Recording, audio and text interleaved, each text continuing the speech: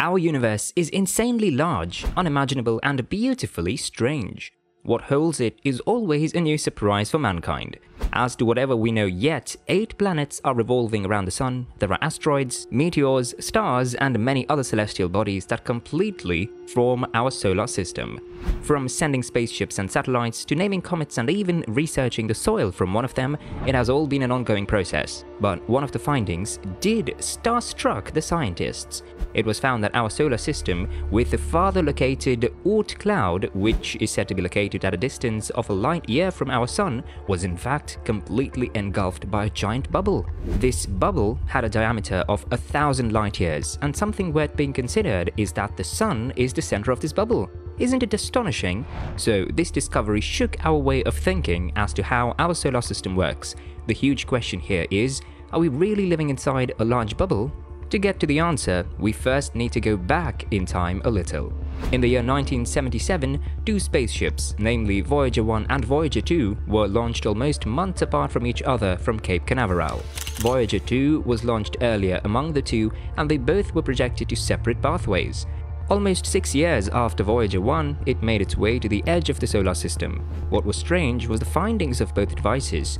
It was found that the farther we moved away from the Sun, the more the space density increases. We used to consider that interstellar space is a complete vacuum, but that's just not entirely true. There exists matter, extremely low in density, but it is present there. In the solar system, the flow of charged particles which are emitted by the sun called the solar wind has an average density of electrons and protons is 3 to 10 particles per cubic centimeter and it gets lower and lower the farther we move away from the sun. The lowest density of whole space is at the edge of the solar system. The heliopause is the name of this boundary. On this boundary, the speed of solar wind or solar plasma falls to zero. The heliosphere is the space between the heliopause and the sun. All the planets of the solar system are actually immersed in this huge bubble. This boundary has a density of protons and electrons equal to 0.002 particles per cubic centimeter.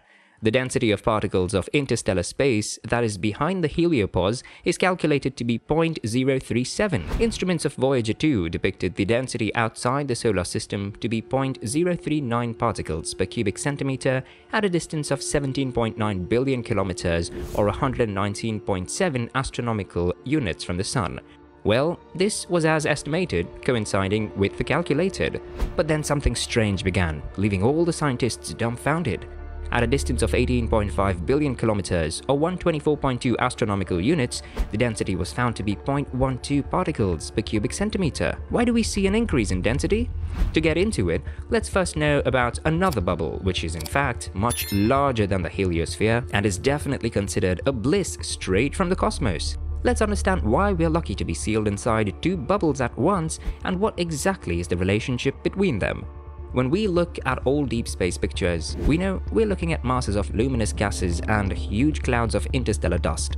But talking of the last century's 70s and 80s era astronomers began their study on the fact that the galactic space surrounding the Sun was different from this picture. They thought that our solar system was hanging in a void. Coming this year, scientists at the Harvard Smithsonian Center for Astrophysics CFA conducted many profoundly complex computer simulations and created a 3D reconstruction of space and time to prove that yes, we're really in a void. Their study depicted that the Sun and Earth hold the most center position of a giant bubble having a diameter of 1000 light years, which was later named as the local bubble. Let's know a little more about it. According to some calculations, this local bubble began its formation about 14 million years ago, and for the formation, it is vital that about 15 supernovae exploded for several million years.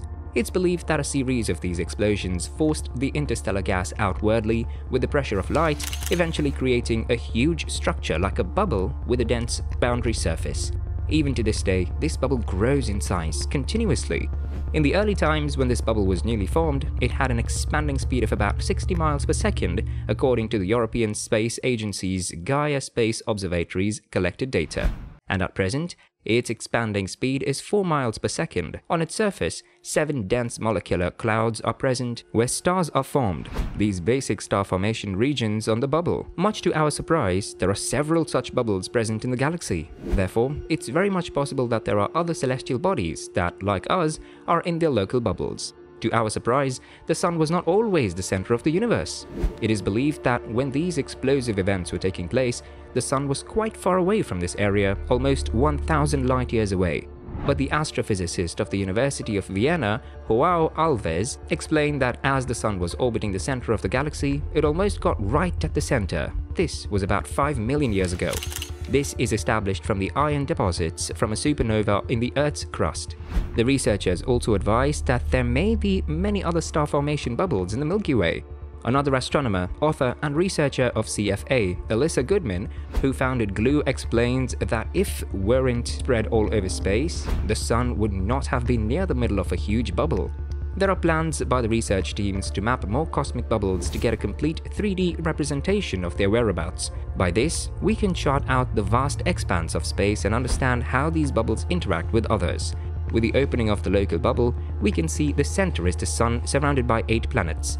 The last planet, Neptune, is about 30 astronomical units or 4.45 billion kilometers away from the Sun than the Earth. Kuiper Belt, a collection of tiny celestial bodies, among which one is Pluto, lies right behind Neptune. It stretches almost 55 astronomical units. Further away, about 125 to 135 astronomical units, is the heliopause. So why is there an increase in density at its boundary? It's because of the solar plasma's collision with the interstellar plasma. Two streams at cosmic speeds collide at a point, of course, the density will increase. And behind this chaos, at a distance of 0.75 to 1.5 light years, a spherical cloud of ice objects spreads. And Oort cloud serving the source of comets for a long time. The interstellar wind is dominant here, but still, somehow, the sun's gravitational pull is holding the bodies. Well, how does it affect our lives? It does. About the heliosphere, we can suggest that our Earth is highly protected from high-energy cosmic particles from the center of the galaxy by its high-density boundary. And for the local bubble, we've long been found that our galaxy is in the shape of a spiral disk with several spiral arms diverging from its center. At present, our Sun is almost at halfway in between the Perseus arm and the Sagittarius arm, and having our Sun revolve around the galaxy center makes one revolution in 200 million years known as the galactic year. From the time man appeared on Earth, only 0.0008 of this year has passed. Along with the other planets, the Sun has crossed several interstellar gases and bubbles even when the density of matter changed drastically.